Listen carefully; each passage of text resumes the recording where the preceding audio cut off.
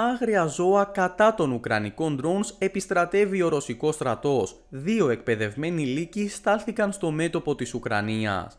Άγρια ζώα κατά των Ουκρανικών ντρόνς επιστρατεύει λοιπόν ο Ρωσικός στρατός σε ένα πείραμα που εκτιμάται ότι θα βοηθήσει στην ανείχνευση της προσέγγισης των θανατηφόρων UAV.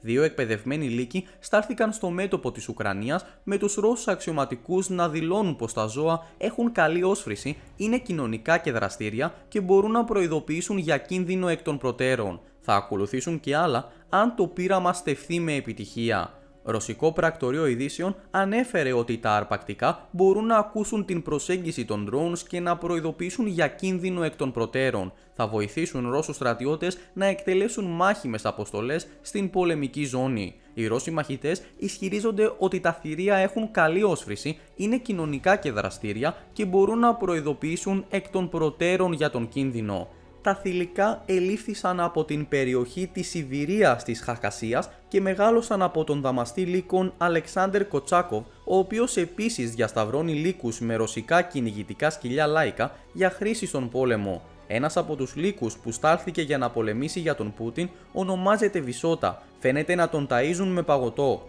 Τα κουτάβια απλώς μου τα έφεραν κυνηγοί χωρίς μητέρα, είπε ο Κοτσάνκοφ. Οι στρατιώτες μου τα ζήτησαν για να τους τα μεταφέρουν στον πόλεμο.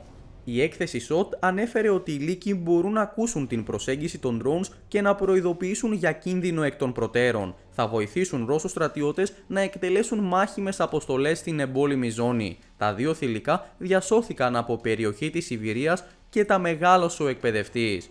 Ο αρχηγός του κρατικού τσίρκου της Μόσχας, Έγκαρ Ζαπάνση, δήλωσε ότι ελπίζω αυτές οι δύο λίκενε που θα είναι τώρα με τους μαχητές μας δεν θα πληγωθούν και ότι οι άνδρες θα τις περικυκλώσουν με προσοχή και θα εξασφαλίσουν την ασφάλειά τους. Με την σειρά τους θα σώσουν τις ζωές των στρατιωτών μας. Αυτή δεν είναι η πρώτη φορά που ο ρωσικός στρατός στρέφεται σε ζώα η Ρωσία έχει ιστορικό εκπαίδευση θαλάσσιων θηλαστικών όπως τα δελφίνια για στρατιωτικούς σκοπούς. Μια φάλινα μπελούγκα τέλος, η οποία υποπτεύεται ότι είχε εκπαιδευτεί ως κατάσκοπος από την Ρωσία, βρέθηκε πρόσφατα νεκρή στα ανοιχτά των νορβηγικών ακτών.